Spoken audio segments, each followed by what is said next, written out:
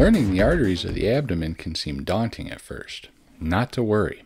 I'm going to walk you through the three main trunks that branch off the abdominal aorta the celiac trunk, the superior mesenteric artery, and the inferior mesenteric artery. I'll also draw their branching patterns and go over the organs these vessels supply. Then we'll tie it all together into one complete picture. I'll talk about the intertruncal and intratruncal anastomoses so you can better understand how the body keeps the tissues perfused with blood if there's a blockage. By the end of this video, you'll be able to draw these trunks and branches, which will make your life much easier when you try to identify these vessels in the cadaver dissection. Okay, are you ready to draw? Let's do this.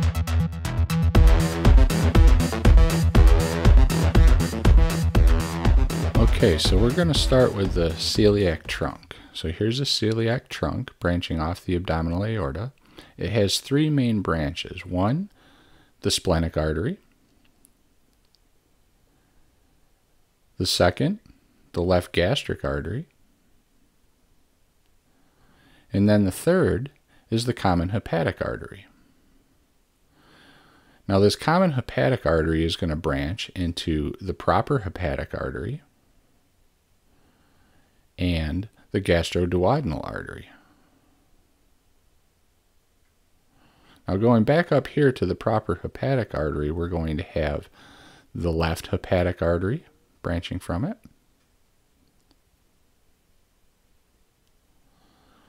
The right hepatic artery. And branching off the right hepatic artery, we'll have the cystic artery, which goes to the gallbladder. And back down here, we'll have the right gastric artery. And this right gastric artery will loop around in anastomose with the left gastric artery in the lesser curvature of the stomach.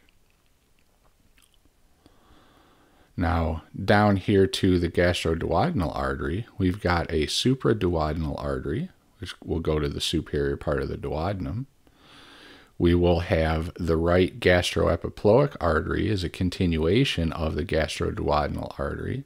Now, this right gastroepiploic artery will anastomose with the left gastroepiploic artery, which comes from the splenic artery. And both of these blood vessels will run along the greater curvature of the stomach.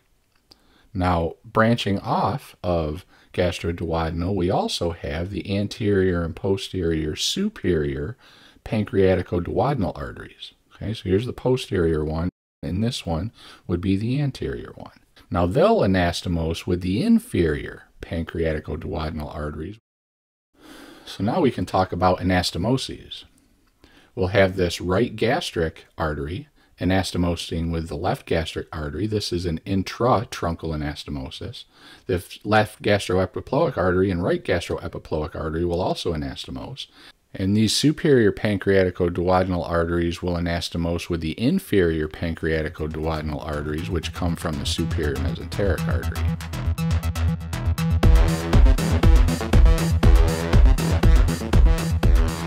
All right, so superior mesenteric artery is up next, and the superior mesenteric artery is going to swoop down kind of like so. Here we're going to have the ileocolic artery, branching over to supply the ileum and the cecum. So this will be ileocolic, IC.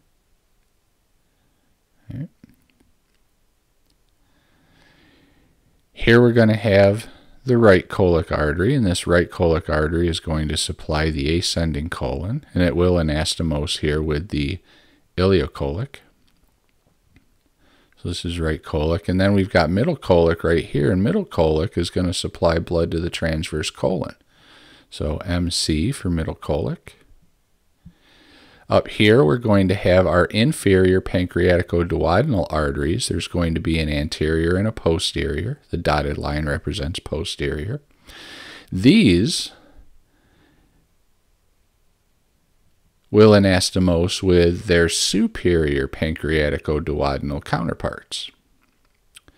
so here I'll continue to draw the anastomosis for the middle colic and right colic arteries. And they'll help to contribute to that marginal artery that goes around the inside of the colon. Here we've got the appendicular artery. And here we've got the jejunal branches and the ileal branches, which would supply blood to the small intestines.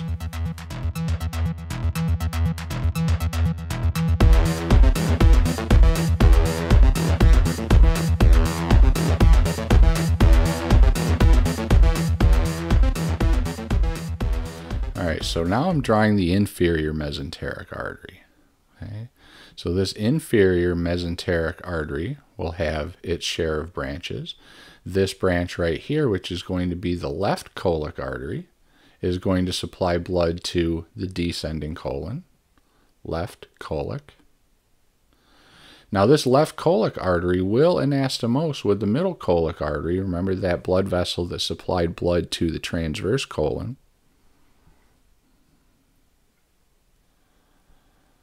And down here we have the sigmoid branches, which will supply blood to the sigmoid colon. And here we have the superior rectal arteries. So here I'm drawing the colon so you can see what parts of the colon are supplied by what arteries. So here we've got the ileocolic artery supplying this part the right colic artery supplying this part, middle colic, left colic, sigmoid branches, and superior rectal arteries.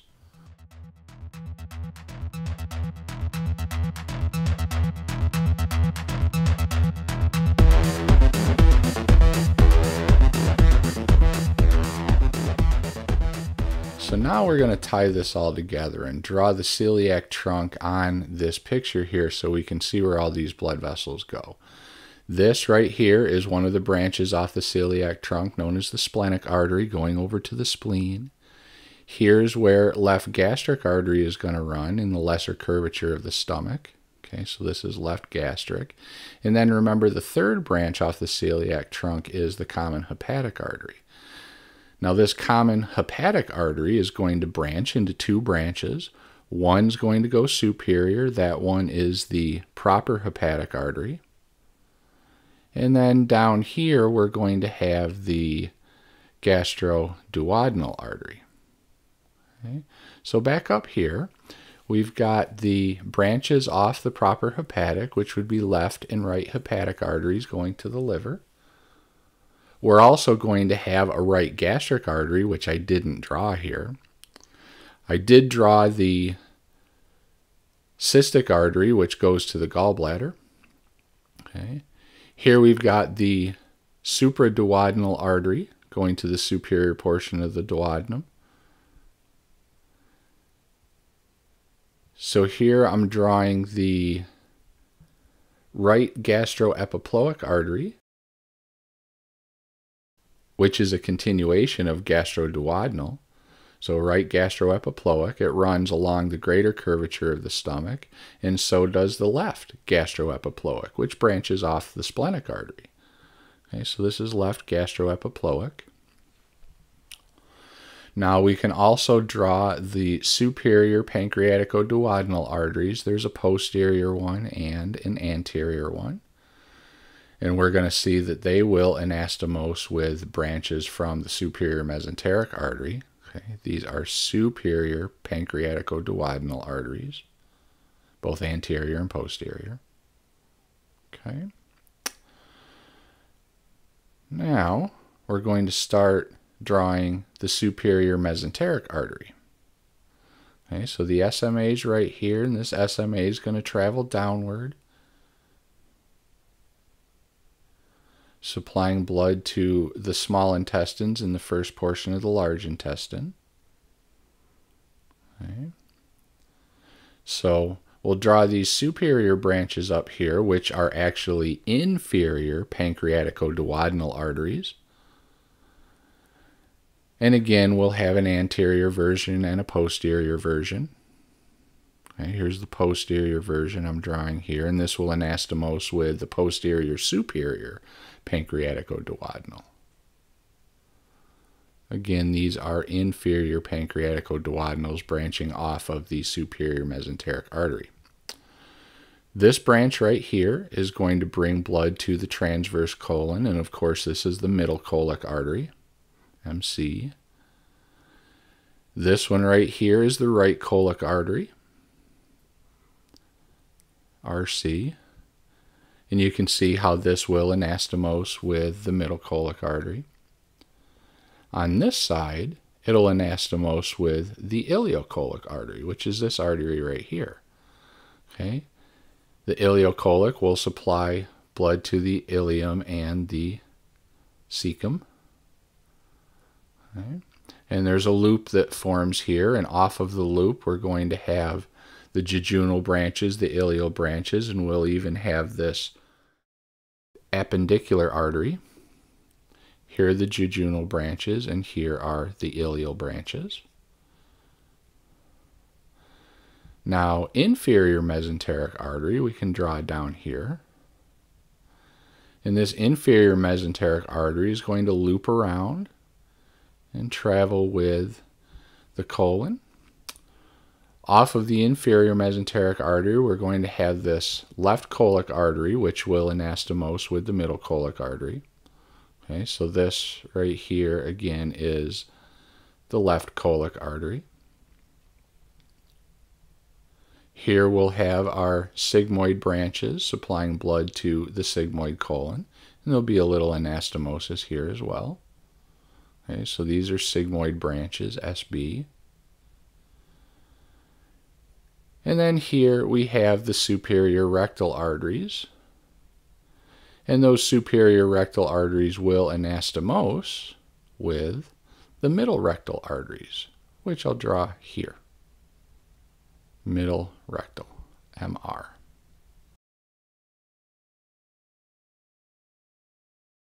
And finally, an indication of where the marginal artery would be. Remember, the marginal artery is made up by the union of the ileocolic, right colic, middle colic, and left colic arteries. And it's located around the inside of the colon. If you found this video helpful, click like and consider subscribing to my channel. Don't forget to visit www.humanbodyhelp.com.